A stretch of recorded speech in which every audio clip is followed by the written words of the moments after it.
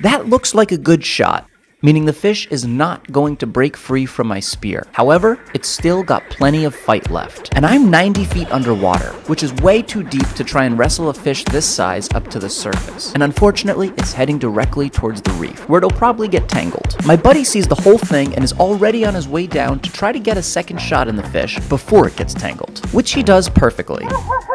Although spearfishing is fun and exhilarating, its main purpose is to eat fresh, ethically sourced fish. So, after cleaning the fish in the water and loading it onto the boat, I take it home, share some with my cats, put it on my motorbike, and bring it to a local restaurant on the beach. I live in a small fishing village, so bringing your own fish to a restaurant like this isn't that unusual. And normally, I trade them the fish head in return for their grilling expertise.